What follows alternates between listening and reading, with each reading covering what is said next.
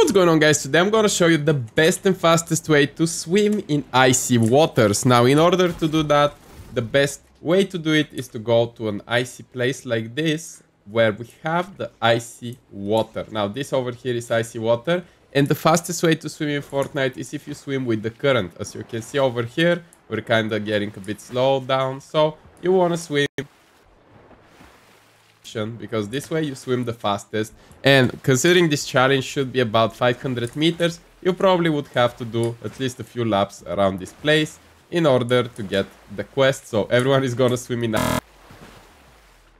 very very fun. But anyways guys if you enjoyed this video or found it helpful make sure to like this video and i'll see you next time for, for another video uh, where we probably have some you know more better challenges or something uh, but yeah, guys, leave a like, and I'll see you next time.